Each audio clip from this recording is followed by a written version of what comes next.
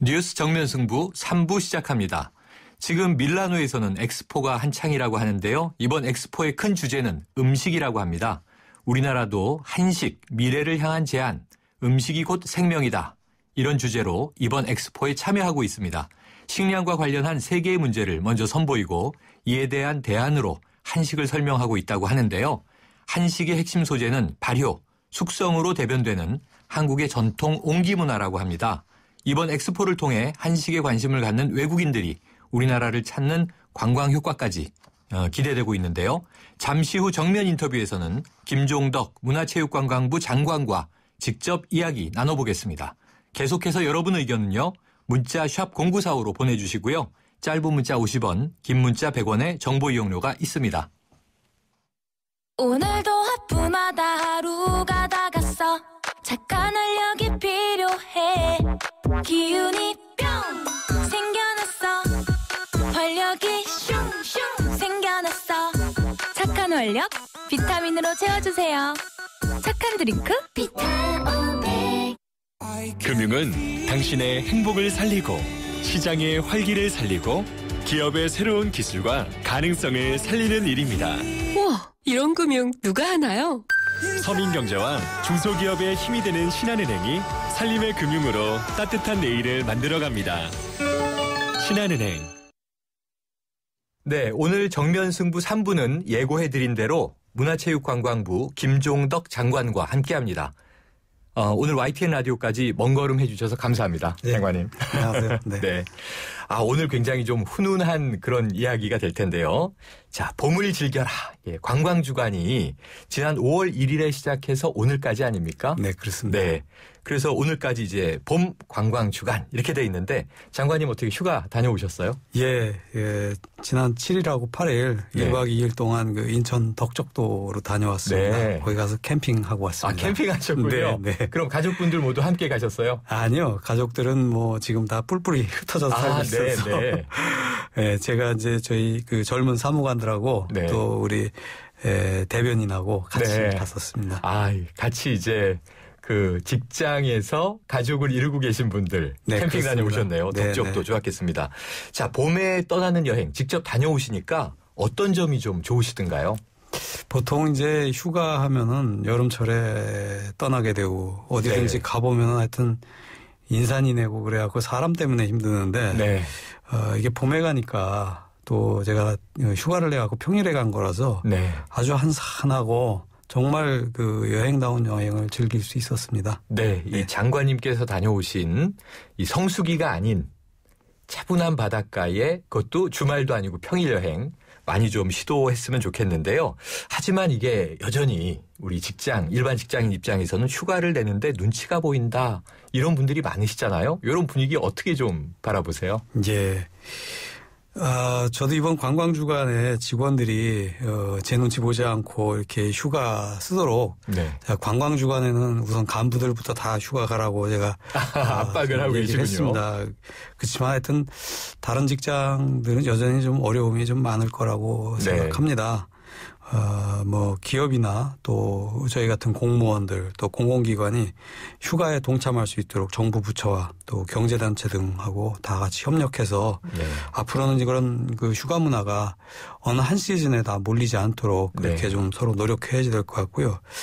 뭐 아시다시피 토요일 날 노는 그 토요 휴무제도 네. 그거 정착하는데 10년 이상 걸렸습니다. 맞습니다. 그래서 이 이것도 관광 주간도 봄 가을로 이렇게 그 분산해 갖고 이렇게 정착이 되면은 점차 좀 자유롭게 휴가 가는 분위기가 조성되지 않을까 그렇게 기대합니다. 네. 자, 이번 봄에 휴가 놓치신 분들이 계시다면 가을에도 또 관광 주간이 있나요? 예, 그렇습니다. 가을 관광 주간은 이제 그 보통 가족들이 그 관광 가기 힘들어지는 이유 중에 하나가 이제 자녀들의 학업 일정 뭐 이런 것 맞습니다. 때문에 그렇거든요. 근데 이렇게 중간고사 기간 좀 피하고 음. 그러다 보니까 10월 19일부터 11월 1일까지 2주간 그렇게 진행될 예정으로 있습니다. 네. 그때는 아마 단풍도 좋고 또 이제 색다른 맛이 있을 것 같은데요. 어, 지금 뉴스 정면 승부 김종덕 문화체육관광부 장관과 함께하고 있습니다. 자, 이탈리아 밀라노 다녀오셨다면서요. 네, 그렇습니다. 2015 밀라노 엑스포가 개막했다고 하는데 뭐 어떤 거 좀 재밌게 보셨어요? 그 뭐 여러 나라들마다 아주 독특한 전시장들이 많이 있었고요. 제가 네. 다녀온 거는 어, 한국관도 5월 1일자로 다 개관을 했습니다. 네. 그래서 개관식 하느라고 갔었고요. 네. 어, 우리가 그 참석한 나라들 중에서 아홉 번째로 큰 부지에다가 네. 그 한국관을 만들었습니다. 음. 그래서 한식을 주제로 다 참가해서 또 네. 우리 한식이라는 게 워낙 건강하고 굉장히 자연 친화적인 그런 그 우리 먹거리 아니겠습니까? 네. 그래서 한국의 그 식문화를 미래의 중요한 그 건강한 먹거리의 대안으로다가 이렇게 소개하는 그런 자리를 그 만들었습니다. 네. 안 그래도 보니까 이번 그 밀라노 엑스포 주제가 인류의 지속 가능한 먹거리를 모색하는 자리다. 이런 모토가 들어있던데요. 그럼 우리 한식 어떤 의미에서 지속 가능하다 이렇게 좀 표현해 주실 수 있겠습니까? 한식은 뭐 모두가 아시다시피 굉장히 자연 친화적이고 어, 건강 그 지향적인 그런 음식입니다. 네. 또 그런 철학을 담고 있고요. 음.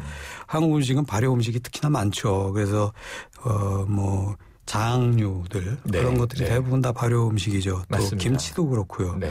발효라는 것 자체가 이제 시간의 도움으로다가 자연에서 이렇게 얻게 되는 그런 그 영양을 높이는 어떤 방식 아니겠습니까? 네. 그래서 그 그런 발효 음식이 이, 그 우리 동양 음식 중에서도 특히나 한국 음식이 그 많은 편이고요. 네. 또 어느 한편으로 보면 우리 이제 그 오랜 세월 동안 음식을 우리는 약으로다가 좀 데워왔습니다. 네. 그래서 그 우리 보통 어 약식 약과 네. 심지어 술조차도 우리가 약주라고 부르지. 않습니까? 그래서 이 음식을 그 약으로다가 대하면서 먹는 것이 곧 우리 건강하고 직결돼 있다는 그런 생각을 이미 우리 음식에다가 다 네. 담아왔기 때문에 이게 아마 앞으로 어, 인류가 어, 건강하게 삶을 영위하는데 중요한 그 미래 먹거리로서의 대안으로 이렇게 어, 소개할 수 있지 않을까 그런 생각을 했습니다. 네, 그렇군요. 그러면 지금 뭐 우리 음식의 강점, 어찌 보면 좀 자랑스러운 철학 이런 것들 장관님께서 정말 간략하게 잘 정리해 주셨는데요. 한국관 역시 같은 맥락, 같은 의미로 꾸며져 있겠죠? 예, 그렇습니다. 그래서 주제 자체가 한국관도 한식 미래를 향한 제안 음식이 곧 생명이다. 이것이 그 저희 주제입니다. 네. 아, 그 미래 먹거리 대안으로서 그 건강한 한식 문화 특징을 또 미디어 아트하고 네. 다양한 그 볼거리로다가 이렇게 감각적이고 감성적으로다가 이렇게 보여주고 있습니다. 네. 한국관에 들어가시면 처음엔 에, 이제 현대인의 식생활이 얼마나 그 문제적인지 네. 잘못돼 있는지 이런 것들을 관람객들한테 질문으로 다 던집니다. 네.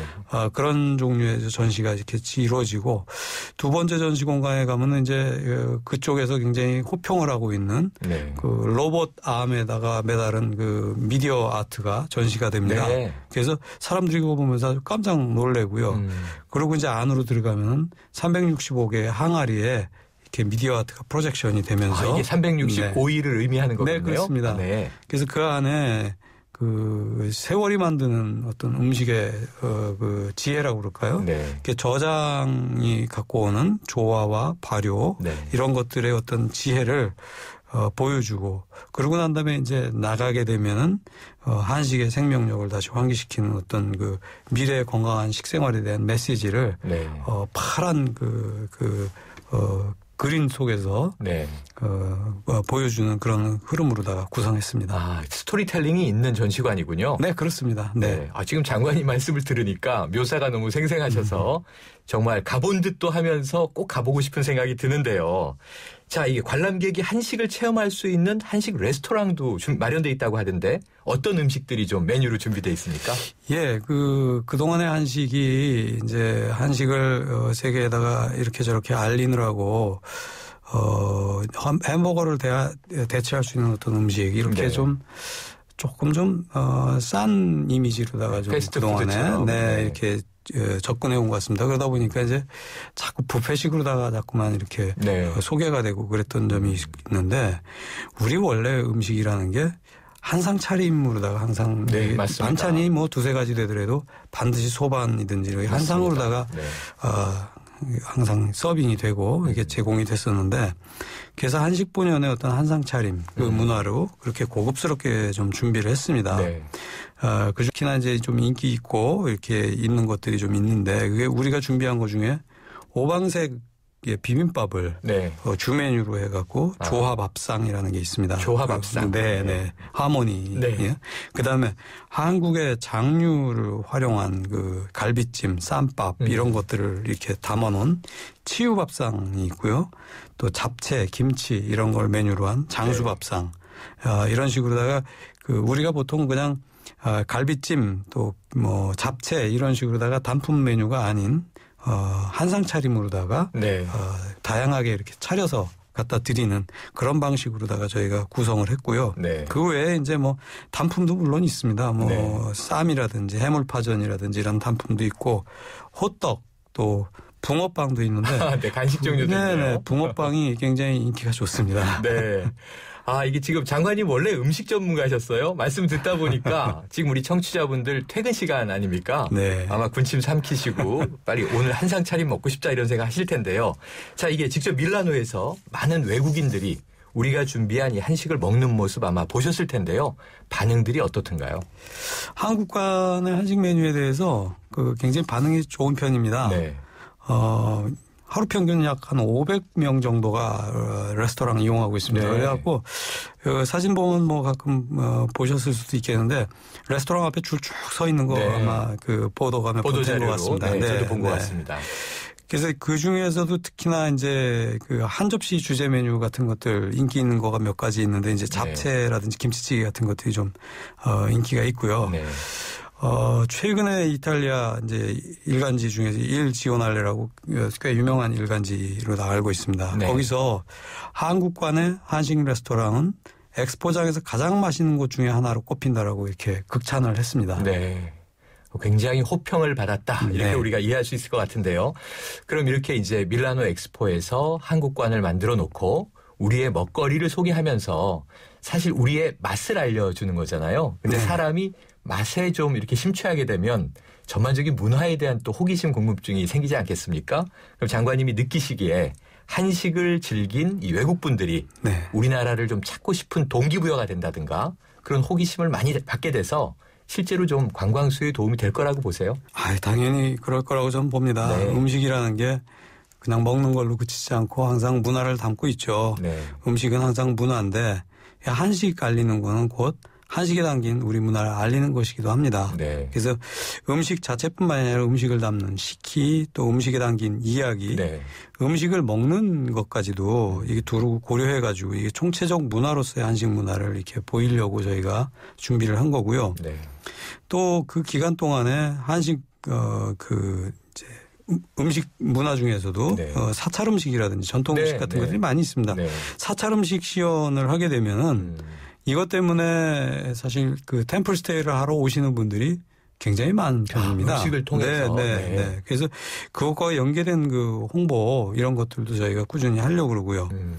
또 아울러서 그 밀라노 엑스포가 열리는 그 6개월 동안 엑스포장은 물론이지만 또 밀라노 도심 곳곳에서 한국 영화, 음악, 패션 이런 아, 그 다양한 콘텐츠를 경험하고 또 교류할 수 있는 그런 기회를 저희가 계속 제공, 제공할 겁니다. 네. 아, 네. 아까 미디어 아트 말씀하실 때부터 저는 장관님 그 교수 시절부터 음. 많이 배웠는데요. 컨퍼런스나 포럼에서 광고 마케팅, 미디어 뭐 이런 쪽으로 굉장히 디자인까지도. 네.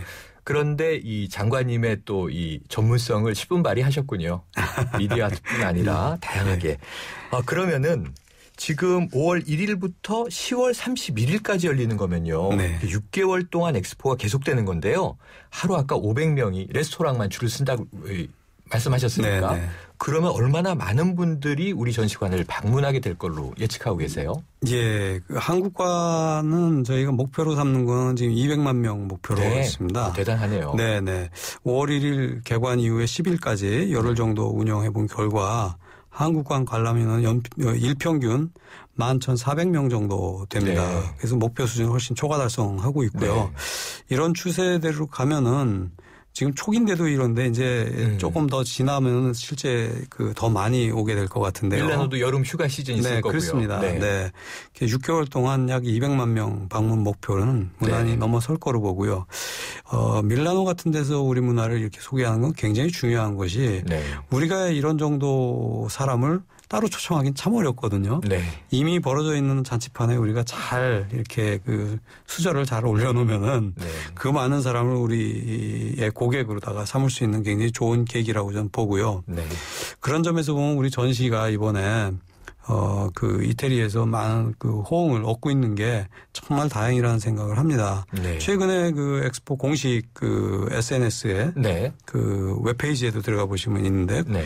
그 관람객이 선정한 10가지 놓쳐서는 안 되는 것들 아. 이 리스트에 어, 한국관이 포함되어 있습니다. 아, 자발적으로 올린 네, 건데요. 네, 네, 네.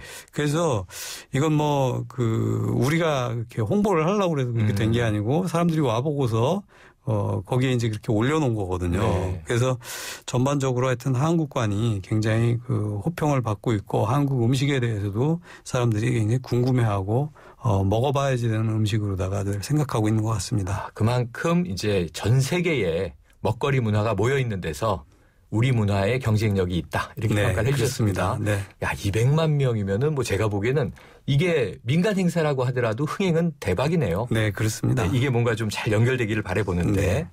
네, 지금 문화체육관광부 김종덕 장관과 이야기 나누고 있습니다. 이 밀라노 하면 패션의 도시잖아요. 네. 장관님 많이 익숙하실 텐데. 근데 여기서 한일 간 음식 전쟁이 벌어지고 있다. 이런 오늘자 보도가 있었어요. 네. 이 기사 한일 간의 음식 전쟁 밀라노에서 벌어지는 어떻게 보세요? 글쎄요, 그, 일본은 일본대로의 특징이 있고, 네. 한국은 한국대로의 그 좋은 음식의 어떤 특징이 갖고 있죠. 그, 어, 아까도 말씀드렸다시피 음식은 그 나라의 문화를 그 투영하고 있습니다. 네. 일본 음식이 에, 일본 문화를 투영하고 있다면 한국 음식은 한국 문화를 잘 투영하고 있는데 우리 음식이 굉장히 건강한 음식 이라는 네, 어떤 네. 이미지를 어 갖고 있고 또 그것을 밀라노 엑스포에서 잘 보여주려고 지금 노력하고 있습니다.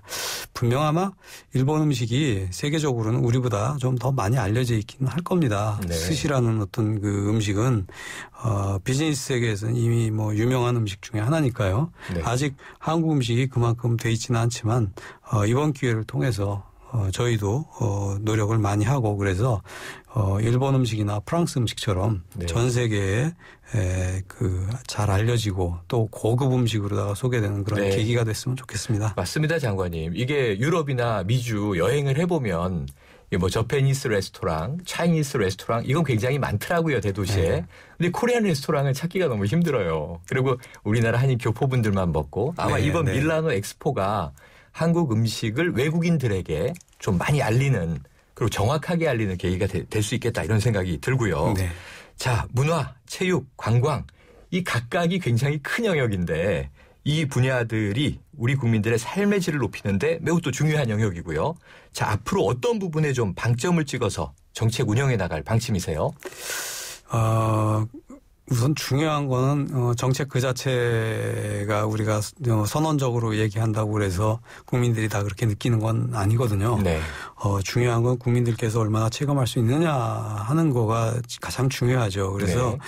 국민들께서 어, 느끼지 못하고 알지 못하는 정책은 어, 그야말로 정책으로서는 아주 실패한 정책이라고 네. 생각합니다. 네. 그래서 어, 국민들께서 어, 실생활에서 어, 체감할 수 있는 그런 정책, 어, 문화 정책은 반드시 그래야지 된다는 생각을 갖고 있습니다. 네. 그래서 어, 국민들이 손끝에서 느끼실 수 있게끔 저희가 열심히 노력하겠고요.